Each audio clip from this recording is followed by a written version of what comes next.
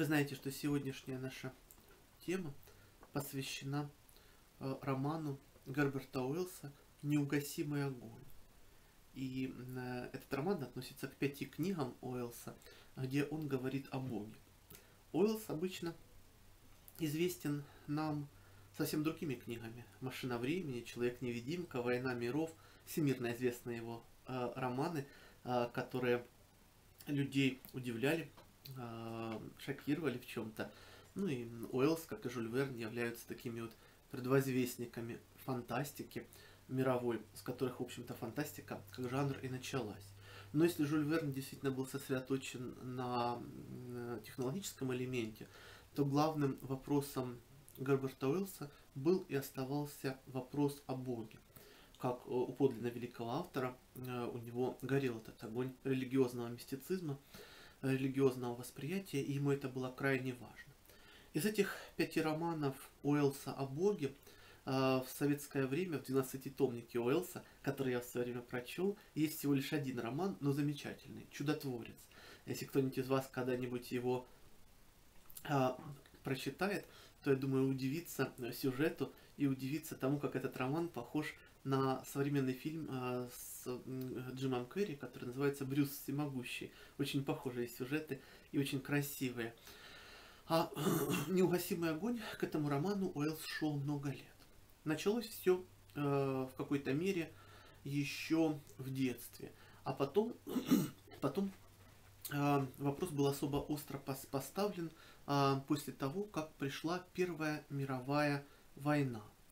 Первая мировая война поставила перед тогдашними европейцами вопрос о жизни. Не, не есть ли жизнь бессмысленный хаос? Этот вопрос стал и перед Уэллсом. Но Уэллс был из тех редких людей, кто задумывался о Боге с юности, с самых-самых ранних лет. Его мама, которую звали Сара Уэльс, была девушкой крайне религиозной. Она исповедовала англиканство, то есть была хри христианкой англиканского обряда, и, как пишут исследователи, ее вера была доверчивой и жизнерадостной, а до тех пор, пока не умерла ее дочь, сестра Уэлса, малышка Фрэнсис. И это было, конечно, большим ударом для мамы, э, юной молодой девушки. И Уэллс говорил, что до того, как произошла эта трагедия, она верила, что Отец Небесный и Спаситель лично, порой с помощью подвернувшегося под руку ангела, заботится о ней. Это цитата из Уэллса.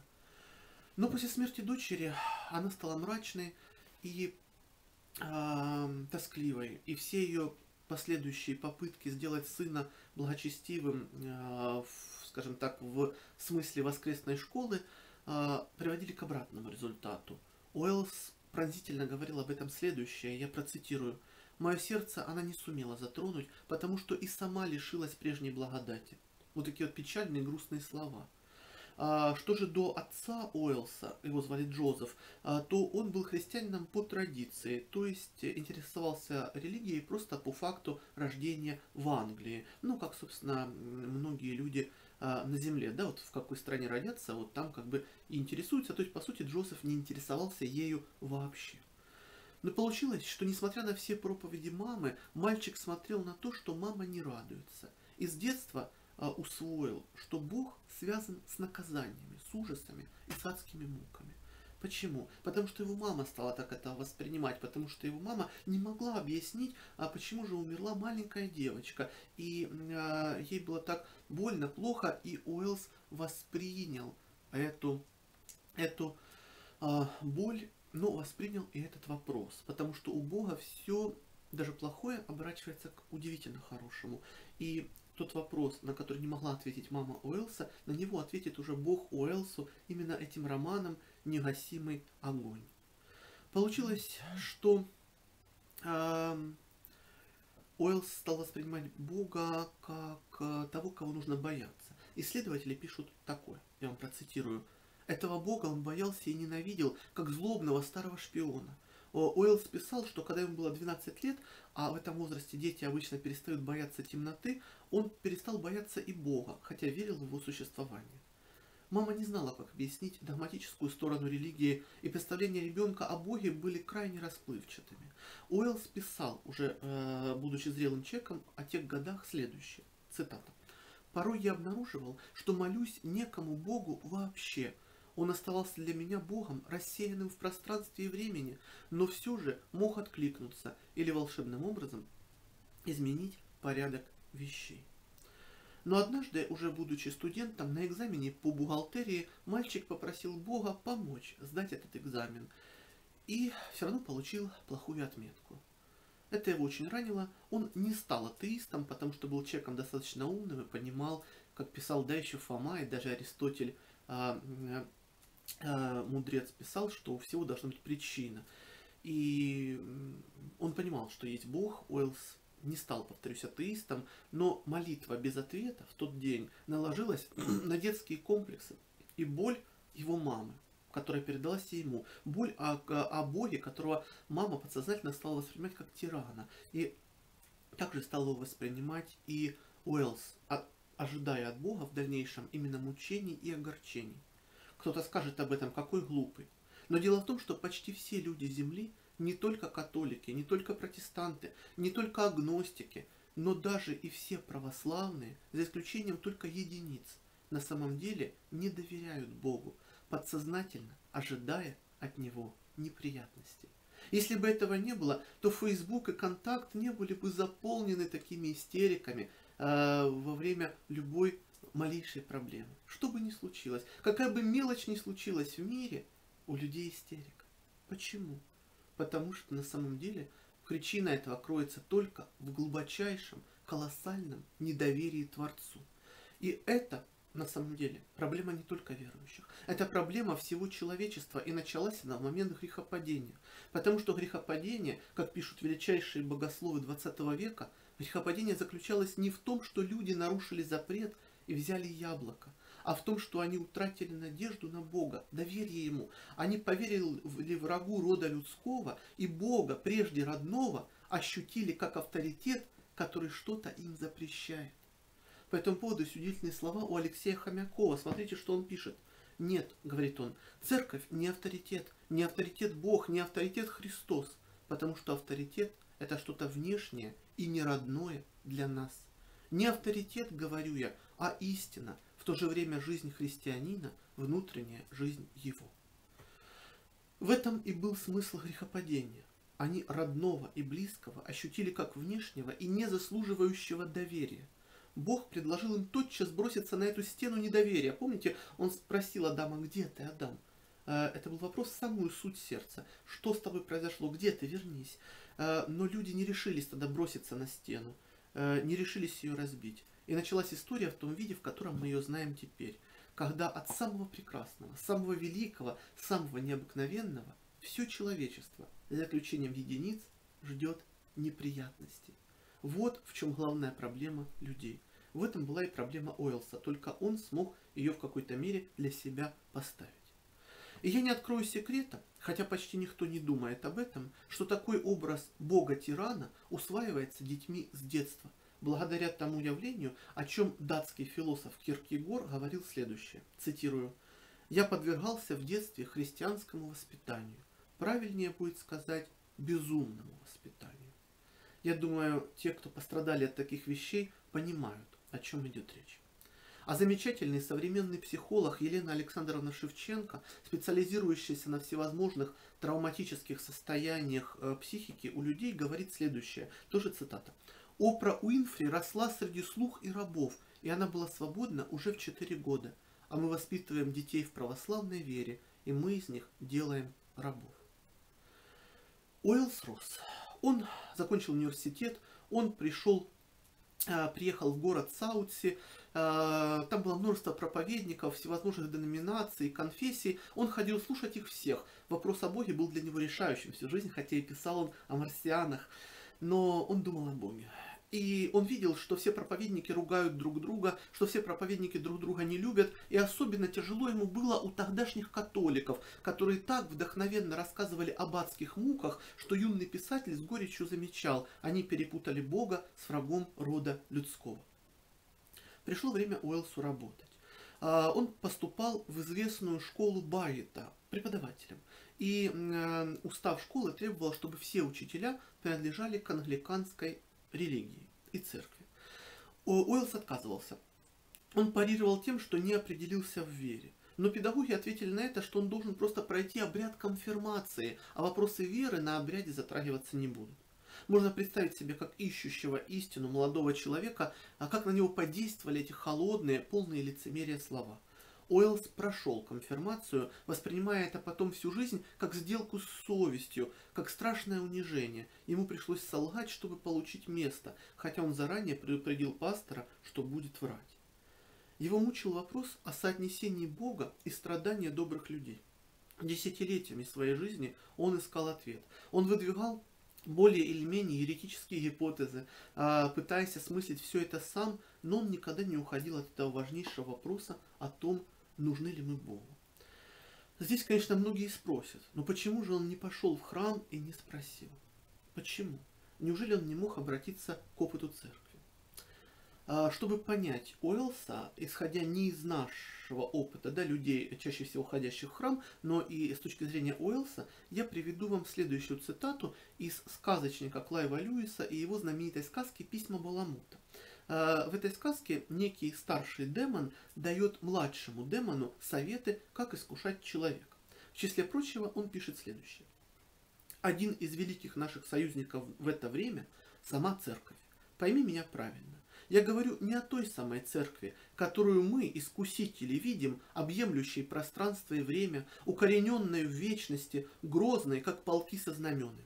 Это зрелище, признаюсь, способно устрашить самых смелых искусителей. Но, к счастью, та церковь невидима для людей. Твой подопечный э, видит лишь недостроенное здание в псевдоготическом стиле на неприбранном строительном участке. Войдя же внутрь, он увидит местного лавочника с елейным выражением лица, а тот предложит ему лоснящуюся маленькую книжку, где записано содержание службы, которое никто толком не понимает, и еще другую книжку в потертом переплете, содержащую искаженные тексты, песнопений, в большинстве своем плохих и напечатанных мелким шрифтом. А когда он сядет на свое место и оглядится, он увидит как раз тех соседей, которых он избегал. Вот так э, пишет да, как старший демон младшему демону в этой сказке письма Баламута. И это то, что видел Уэллс. Это взгляд человека, смотрящего на церковь. Э, чаще всего этот взгляд именно таков, и человеку нужно наитие Святого Духа, чтобы увидеть иначе. И все же Уэллс уверен, что Бог что-то скажет, что Бог откроет ему эту тайну, почему добрые люди – терпят боль. Почему умерла его маленькая сестра, которая уж точно ни в чем не могла была виновата, не, не могла просто успеть ни в чем провиниться. Уэллс думает и думает об этом. И вот смотрите, что он пишет уже в 1902 году в своей интересной статье «Прозрение». Можно признать или что Вселенная едина и сохраняет порядок в силу какого-то особого присущего ей качества, или же можно считать Вселенную случайным агрегатом, не связанным никаким внутренним единством. Но вся наука и большинство современных религий исходят из первой предпосылки о разумности Вселенной. А признавать эту предпосылку для всякого, кто не настолько труслив, чтобы прятаться за софизмы, признавать эту предпосылку и значит верить в Бога. Вера в Бога означает оправдание всего бытия. И здесь Уэллс поступает как Иов. Он не знает, почему ему больно. Он не знает, почему умерла маленькая сестра. Он не знает, почему э, его мама потеряла благодать. Почему все это произошло. Почему началась Первая мировая война, которую так тяжело переживали все англичане. И тем не менее он э, верит каким-то особенным образом особого человека, доброго человека, что Бог ответит, что Бог не может не ответить на такое его вопрошание. Уэллс ищет, и Бог действительно отвечает ему. Отвечает так, как и прилично ответить писателю. Отвечает книгой, вдохновив Уэллса на совершенно необычный роман, о котором мы сегодня и говорим. «Неугасимый огонь» – так называется это короткое произведение. Настоящий писатель, как вы понимаете, имеет свойство вникать в суть. Эта книга написана так, что в ней в самых важных местах мы сквозь строки Уэллса начинаем слышать Бога. Действие книги разворачивается во время Первой мировой войны, Великой войны, как зовут ее англичане. Живущий в Европе еврей Иов Хасс, а, главное действующее лицо, а, человек благополучный и мирный, а, человек 20 века. Он владеет частной школой, он понимает свое учительство как служение Всевышнему Творцу. И пока он живет и трудится на земле, неожиданно на небе к небесному дворцу Бога приходит извечный враг, как всегда, чтобы опорочить людей. И Бог отвечает врагу, что самые высокие люди Земли все так же умеют доверять и трудиться, даже если они не сразу понимают, почему приходит боль. И Бог говорит, что пять тысяч лет назад а, вопрос о причине страданий добрых задавал только Иов, а теперь, как говорит Господь в романе Уэлса, а теперь в Иова превратилось все человечество. Все люди спрашивают об этом. И враг снова продолжает свою речь и напоминает, говорит о новом Иове, новом благочестивом человеке Иове Хассе, который живет в Европе в этом самом 20 веке и который э, старается быть верным небу. Э, вопрос тот же самый. Может ли тот, утратив благополучие на время, утратить любовь к Богу? То есть можно ли любить Бога, если ты не знаешь о том, придет ли точно счастливый конец? Можно ли его любить просто потому, что он есть? Вопрос, э, можно сказать, ключевой для религиозного вообще восприятия, потому что это вопрос любви, вопрос колоссально важный. И у Иова Хасса начинаются испытания. Хас, конечно, ничего не знает о том, что произошло на небесах. Просто вдруг неожиданно начинается Первая мировая война. Его детей забирают на фронт. После первой же битвы а, он получает известие о похоронах с, а, сына, а, точнее о том, что сын погиб на фронте. А, его финансовое положение неожиданно пошатнулось. Его, и а, он как будто бы теряет все. Кроме этого, а, он еще и заболевает. Ему диагностируют рак. А тогда после этого к нему приходят его крайне благочестивые друзья и требуют, чтобы он отдал школу им, отдал управление им, потому что он больше не может быть директором, как умирающий человек. Причем друзья Иова, Хасса, это не какие-то безбожники, не какие-то нахалы. Это всеми уважаемые христиане, которые искренне считают, что если человек не может приносить больше пользу, то он больше не нужен ни людям, ни Богу, и поэтому, если его подсидеть, отстранить, убрать, то в этом не будет греха. Смешно, но очень трудно найти христиан, которые бы думали иначе. К тому же у друзей Иова есть железное оправдание. У них благочестивая цель и крайне благочестивая христианская лексика, о которой с такой неприязнью, с таким отвращением сказано в Библии в книге Иова. А, чтобы вы оценили эту лексику, не берясь даже за книгу Иова, если кто ее не читал, я думаю, не все читали, то я приведу вам такой разговор, который недавно слышал в храме от двух прихожанок на службе. Одна прихожанка, представьте себе, говорит другой. А, слова такие. Говорит, знаешь, у меня вчера кошка пятерых котят привела. Я их всех потопила. Бог дал, Бог забрал. Вот такая лексика. То же самое, кстати, говорил и Адам, да, когда он пал, он обвинил жену. Жена, которую ты дал мне, она дала мне от этого дерева, и я ел. И подобные вещи говорят друзья Иову и в Библии, и в романе Уэллса. Хасс отвечает друзьям следующее. Цитирую. «Покончить с моей работой, с этой школой, это будет значить покончить со мной. Я не понимаю, почему бы мне не сказать вам откровенно все, джентльмены, в какой ситуации я нахожусь. Я не понимаю, почему бы вам в этот раз не поговорить, а, почему бы на этот раз не поговорить вам с, с собственным языком. Боли смерть сейчас наши собеседники. Это редкая, жестокая, кровавая ситуация. Через час или около того женщины, может быть, обмоют мое тело, и я умолкну навсегда. Я скрывал мою религию, но зачем мне скрывать ее теперь? В ваших глазах я всегда старался выглядеть человеком практичным, но в тайне я всегда оставался фанатиком. И школа была тем алтарем, на котором я посвящал себя Господу. Я действовал там э, и глупо, и немощно. Теперь я это знаю. Я бывал и ленив, и опрометчив, и в этом была моя слабость, но я сделал все, что мог. В меру моих сил и знаний я служил Богу. А теперь, в этот час тьмы, где этот Бог, которому я служил? Почему он не станет здесь и не отведет этот последний удар, который вы хотите нанести работе, посвященной ему мной? Услышав это, э, мистер Дед с ужасом посмотрел на мистера Фара, но мистер Хас продолжал, словно беседуя сам с собой. Ночью я заглянул в свое сердце. Я хотел найти там главные мотивы и тайные грехи. Я подверг себя суду, чтобы узнать, почему Бог прячется от меня теперь, и я не нашел там ни причины, ни оправдания. и в горечи моего сердца я испытал искушение поддаться вам и сказать вам, чтобы вы забрали мою школу и делали с ней все, что хотите. Близость смерти делает знакомые вещи и переживания хрупкими и нереальными, а намного более реальной для меня стала тьма, нависшая надо мной, как напасть иногда нависает над миром в полдень. Она день и ночь издевается надо мной и непрерывно требует, чтобы я похулил Бога и умер. Так почему же я не возвожу хулу на Господа и не умираю? Почему я цепляюсь за свою работу в школе, когда Бог, которому я посвятил ее, молчит? Полагаю, только потому, что я надеюсь на какой-то знак утешения, потому что я пока еще не повержен. Поразительные слова. Конечно, друзья считают, что он несет какую-то чушь, они начинают внушать ему, что ты безумец, Бога спрашивать нельзя, невозможно, он судья, он знает, что делает.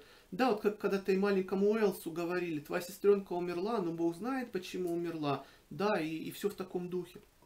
И, э, и а, Иову страшно больно все это слышать, его очень больно, э, э, и тем не менее Иов в романе и Иов в Библии, и Уэллс, который все это пишет, он верит, что Бог даст ответ всем, кто имеет мужество поставить ему вопрос о мире, о жизни, о страдании. И а почему все это произошло. Причем ответ Бога может прийти через что угодно. Он может прийти даже через робота. Недавно мы с Лариолью разговаривали с Алисой. Это такой голосовой помощник в Яндексе. И мы спросили Алису, а перестанет ли такой-то наш знакомый хоть когда-нибудь унывать. И Алиса, робот, да, программа ответила нам, когда-нибудь, но не в этой жизни мы были потрясены, а, потому что всякий, кто знает того человека, о котором мы спросили просто в шутку, а, согласится с ответом робота. Хотя, конечно, робот не знает, о ком мы спрашивали и совершенно не знает людскую психологию. Но возникает вопрос, почему ответ не приходит сразу? Почему Уэллс десятилетия ждал? Почему Иов ждал несколько лет? Почему мы не всегда получаем ответ, почему мы страдаем сейчас, но потом получаем? потому что мы должны вырасти к новому ответу, к новому пониманию и к новой радости. Райнер Мария Рильке, удивительный немецкий и австрийский поэт, пишет об этом так. Ваши вопросы как комнаты, запертые на ключ, или книги, написанные на совсем незнакомом вам языке. Не отыскивайте сейчас ответов, которые вам не могут быть даны, потому что эти ответы не могут стать сейчас вашей жизнью. Живите сейчас вопросами. Быть может, вы тогда понемногу, сами того не замечая, в какой-нибудь очень дальний день доживете до ответа. То же самое говорил Хемингуэй э, устами своего старика из романа «Старик и море». Этот старик в свое время сказал, а когда счастье придет, я буду к нему готов. Вот почему Бог отвечает не сразу. Но Он отвечает, ответ приходит. Я помню, как в свое время, будучи безвестным студентом университета, я влюбился в одну девушку. Она несколько месяцев морочила мне голову, я страдал, мучился и написал письмо старцу Кириллу Павлову в Троице Сергиеву Лавру. А, в письме я рассказал, кто я, и просил его молиться, чтобы эта девушка вышла за меня замуж. И в тот же день, когда старец Кирилл прочитал мое письмо, девушка вдруг неожиданно сказала, что у нее есть другой, что она э, влюблена в этого другого и не собирается тратить время на какого-то э, непонятного, никчемного человека. Было очень больно. Но спустя какое-то время я увидел, что эта девушка ни в чем не могла бы быть со мной вместе. Ведь ее счастье заключалось в той мещанской надежности, от которой меня всегда тошнило. Ей было нужно твердо знать, что в конце месяца ее муж принесет ей зарплату, что летом он на 5 или на 6 дней отвезет ее на море, а, может быть, еще на своем запорожце, да, а, и она никогда, никогда не захотела бы идти со мной к горам. Ведь важнейшее, что должна сделать жена по отношению к настоящему поэту, она должна понимать, кто он такой. Но девушка отказала. Несколько месяцев я мучился, переживал, но, как всегда в таких случаях, спустя некоторое время э, успокоился. Хотя тогда, когда переживал и мучился, считал, что ни с кем другим мое счастье, конечно же, невозможно. Но в те дни я и представить себе не мог, что Бог на самом деле мне готовит. Ведь для той девушки я был всего лишь студент, а всего лишь студент, работающий на какой-то мелкой подработке. Ведь это одно дело, когда девушка встречает Данте э, в славе в столице, а другое дело, когда девушка встречает того же Данте, когда он изгнан из Флоренции, когда он идет без средств, без денег, в дорожном плаще. Здесь, чтобы его узнать, нужна эльфийская мудрость, нужна чуткость э, великих эльфов, чтобы понять, кто он такой. С этой девушкой мы долго не виделись, а спустя сколько-то лет она позвонила моей маме. Обо мне она ничего не знала. Но оказалось, что она с мужем теперь торгует елками на базаре. Она совершенно, повторюсь, ничего не знала о моей жизни, о том, как все у меня сложилось, но она хотела нанять сторожа для своих елок на ночь. И, наверное, по ее мнению, такой дурачок, как я, и с работой бы справился, и денег бы много не запросил. Моя мама выслушала ее предложение, чтобы я стал сторожем для ее елок, и, э, улыбнувшись, ответила, к сожалению, мой сын не может сейчас принять ваше замечательное предложение, так как именно сейчас он выступает с чтением своих лекций в Европе. Такова мудрость Бога. Бог не только расставил все по местам, не только всем все показал, Он превратил в эту ситуацию со своим поэтом в притчу, чтобы вдохновлять ею и в последующие времена. Но тогда, когда мне нравилась эта девушка, когда я страшно мучился от влюбленности, а потом просто от одиночества, я ничего не знал о том, что моей супругой будет королева эльфов. Но Бог знал. И когда я впервые приехал к старцу Дионисию Коломбокасу в Грецию, он тоже это знал. Он знал, какую радость мне готовит Бог. Но он сказал только в общем, не назвав ни имени, ни человека, ничего. Только в общем. Почему? Почему он не раскрыл подробности, если он точно знал, кто будет моей женой? А он это знал. Потому что Бог не хочет лишать нас радости, труда и надежды. Потому что Бог отвечает нам на вопрос, почему я сейчас страдаю, тем счастьем, которое он нам готовит за это. Но вернемся к книге Уэллса. Иов Хасс, этот э, европейский еврей, да, который попал в трудную ситуацию, требует у Бога отчета о своей боли. Потому что он хочет видеть, что в мире все существует правильно. Он обвиняет Бога для того, чтобы восхититься Богом. Он зовет Бога на суд не для того, чтобы его обвинить, а для того, чтобы Бог перед ним оправдался. Иов требует отчета у Бога, потому что он хочет видеть, что все на земле как нужно. А рядом с ним стоят его вот эти самые благочестивые друзья. Они держат в руках катехизисы и несут крайне благочестивую чушь. Они говорят все в таком духе, как вы все тоже слышали.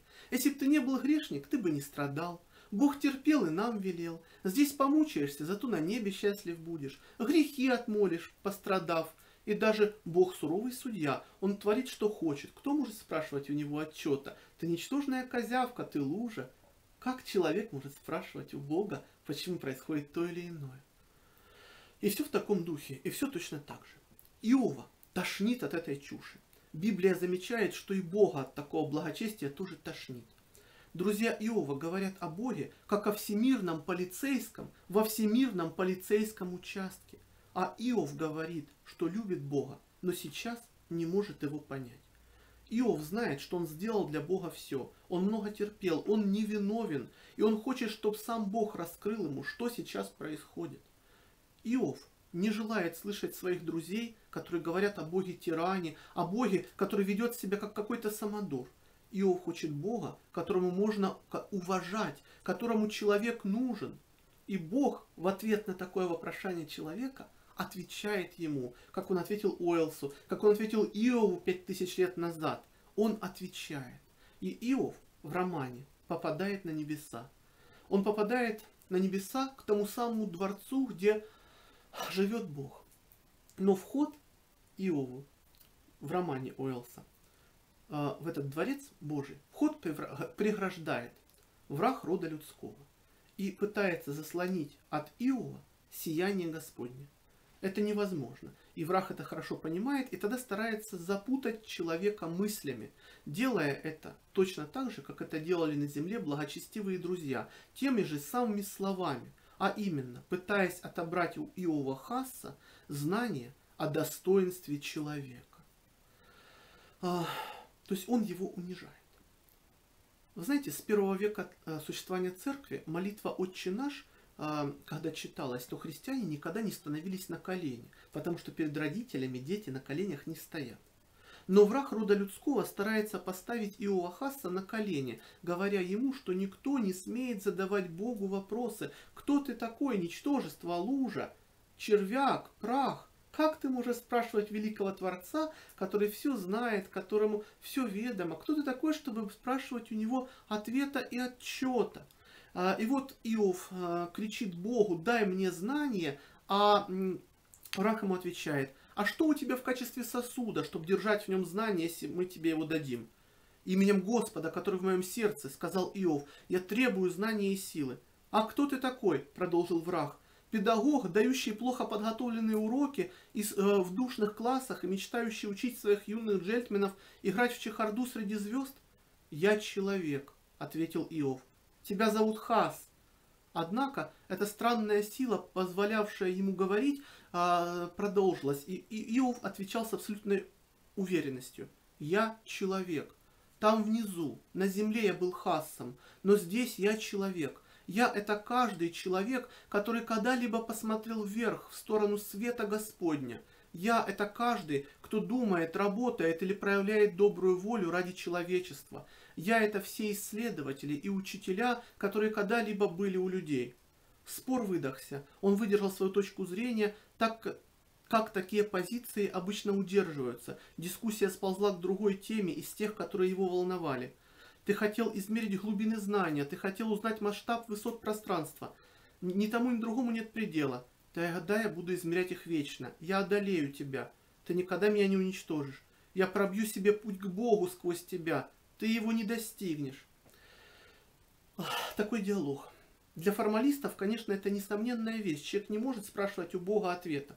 Но Иов знает Бога не так, как его знают формалисты. Иов знает Бога так, как видели Бога Адам и Ева до грехопадения. Не начальником мира, не чиновником Всемирной канцелярии. Э, да, как говорил, по-моему, Эрих Фром, да, что Бог для нас стал таким вот э, генеральным директором фирмы Вселенная Инкорпорейтед. Нет. Иов знает, что Бог любовь, а любовь не может допустить зла любимому. И он ждет ответа, почему ему было больно, что произошло. А враг выставляет Бога министром мира, которому можно подать заявление и прошение в форме молитвы, и прошение будет рассмотрено, если на то найдется время. Враг искушает Иова унижением, точно так же, как его искушают этим на земле друзья – Ничтожный человек не может спрашивать законодателя мира. А люди ничтожны. Пусть полагаются на себя, пусть едят любые яблоки с любых деревьев, пусть грабят банки, лишь бы поудобнее устроиться. Полагаться в мире не на кого. От вселенского начальника может быть страх, могут быть команды, приказы, но чувство нужности разве может быть от него? Таково искушение. Но Иов каким-то особым слухом созвучия истине знает, что Бог дал людям достоинство сына и короля, дочери и королевы. А сын может спрашивать родителя, потому что сын любим. И Иов отвергает древнее искушение человечества. Враг бежит, а Бог ему отвечает. И Бог, уже сам Бог, говорит следующее. Так жизнь идет всегда и не может идти другим образом. Никаким другим образом не может идти такое бытие, как жизнь. Но как ты мог бороться, если бы ты знал, что победа предрешена? Зачем бороться, если конец заранее известен? Как ты бы мог подняться, если бы не было бездн, в которые ты мог бы упасть? Столетиями голос Иова звучит жалобой, и века еще будет звучать. Сквозь века пламя его веры пылает и колеблется, и угрожает вырваться наружу. Но оправдан ли Иов в своих жалобах? На самом ли деле Иов в своих жалобах прав? Ты увидел весь мир, отражающим страдания. Сосредоточился на болезни, жестокости и смерти. Но существует ли зло, жестокость или страдание, которое было бы вне возможности человеческого контроля? Если бы это было так, о, Иов на самом деле мог бы жаловаться, что Господь насмеялся над ним. Но разве закаты безобразны? Разве мирские горы, а дальние холмы отталкивают? Разве есть какие-то изъяны в звездном небе? Если жизни животных и людей темны и неприглядны, то их тела несравненно прекрасны. Ты усмехнулся, потому что из красоты клеток и тканей получился идиот. Почему же, о человек, из них сложился идиот? Разве у тебя нет воли? Разве ты не понимаешь, что это ты допустил существование зла? Темнота и неприглядность, зло и жестокость не более чем вызов к человеку со стороны мира. В тебе заключена сила, способная разобраться с этими вопросами. Ты слишком сосредоточился на боли. Боль – это приходящая неприятность. Она окончится и забудется. Вне памяти и страха боль – ничто, противоречие. Боль властвует над малодушными людьми. Настоящий человек обладает силой управлять ею. В силах человека управлять всеми вещами. Иов сказал, облако снова накатилось на мою душу, я прошел через великую тьму, я прошел через глубокие воды. И Бог сказал, и твоя жизнь никогда не смеялась, а свежесть летнего утра никогда не, тебя не, не, не радовала? Разве тебе ничего не известно об объятиях влюбленных, щека к щеке? Разве ты никогда не выплывал в залитое солнцем море, не удивлялся склонам гор? Разве нет радости в рукоплесканиях? Твой сын, ты сказал, умер с честью. Разве в этой чести нет доли радости? Чист и прям был твой сын, и прекрасен в своей жизни, и неужели тебе не за что поблагодарить Бога? Разве ты никогда не играл со счастливыми детьми? Разве ни один мальчик не отвечал на твои уроки, отдавая большее, чем ты ему дал? Отважишься ли ты отрицать радость от собственного аппетита, первый кусок горячего розбифа в морозный день, глубокий глоток доброго чая? Разве ты не знаешь радости хорошо сделанной работы, или сладкого сна, или тяжкого труда, или тебе неизвестна радость фермера над спаханным полем, когда оно всходит остриями всходов? когда огромные корабли рассекают волны, а не исполняется ли твое сердце снова надежды? Можешь ли ты наблюдать движение машин и испытывать отчаяние? Твоя болезнь окрасила весь мир. Небольшой период неудач спрятал свет от твоих глаз. «О Боже!» — вскричал Иов. «Ответь мне! Враг извел меня своими насмешками! Ответь мне, прежде чем я потеряю тебя из виду! Имею ли я право бороться? Имею ли я право явиться с моей маленькой земли сюда, превыше звезд? Имеешь, если отважишься. Могу ли я завоевывать и покорять? Обещай мне. Ты можешь вечно находить новые миры. Могу, но должен ли? Это было так, словно поток расплавленных мыслей прекратился. Все остановилось. «Ответь мне!» — воскликнул Иов. Сияющие мысли двинулись снова. Пока выдержит твое мужество, ты будешь завоевывать. Если ты имеешь мужество, хотя ночь будет темной, хотя теперешняя битва жестока и кровава, однако победа будет за тобой. А как ты поймешь, когда придет победа? Конечно, этот ответ ошеломляет. Но это ответ недалеко властителя мира, не начальника вселенной – это ответ того, кто повел нас в королевские величия и славу по трудной дороге, для того, чтобы вся Вселенная согласилась, что счастье будет нами заслужено. И тогда весь мир откроется Божьей сказкой. Но, и так хочет автор, Золушка не может в середине сказки узнать о том, как ее коронуют в конце. И чтоб утешить всех золушек и всех гадких утят, великий сказочник, невероятную вещь. Он размещает в своей сказке множество историй, встреч, обстоятельств и мыслей, и книг, чтобы мы увидели, что доверие пути доброты никогда не бывает напрасным, что наше счастье зависит от нашего доброго дела. Для всех ищущих настоящести Христос говорит, что когда в ответ на наш поиск и на наш труд Он нас встретит, то радости вашей никто не отнимет у вас. А вопрошание Бога к человеку может быть таким большим, как у Иова, как у Уэлса, таким огромным, что Бог ответит через этого человека всем гадким утятам и всем золушкам этого мира, всем, кому больно, и всем, кто хочет знать, могут ли они надеяться. А скажет Бог следующее. Победа будет за тобой, а как ты будешь знать, когда придет победа. Дорогие, то, что хотел вам рассказать.